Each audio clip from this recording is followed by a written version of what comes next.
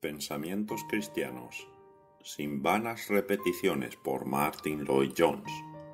Mateo 6:7 Y orando no uséis vanas repeticiones como los gentiles, que piensan que por su palabrería serán oídos. Hemos de acudir a la oración con la confianza simple de un niño. Necesitamos tener la fe de un niño necesitamos tener la seguridad de que Dios es verdaderamente nuestro Padre y que, por tanto, hemos de excluir cualquier idea de que hemos de continuar repitiendo nuestras peticiones porque es nuestra repetición la que va a producir la bendición. A Dios le gusta hacernos ver nuestra inclinación, nuestra ansiedad y nuestros deseos por las cosas nos dice que tengamos hambre y sed de justicia, y que lo busquemos.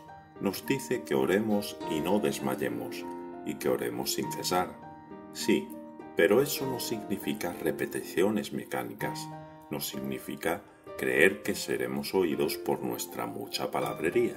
Significa que cuando oramos sabemos que Dios es nuestro Padre y que se deleita en bendecirnos y que Él está mucho más dispuesto a dar de lo que yo estoy en recibir y que siempre le preocupa mi bienestar.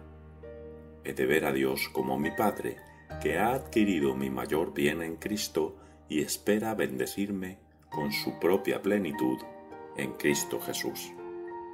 Dios puede hacer por nosotros mucho más abundantemente de todo lo que podemos pedir o pensar. Creamos eso y luego acudamos a Él con una simple confianza. Traducido de un texto por Martin Lloyd Jones. Que el Señor les bendiga.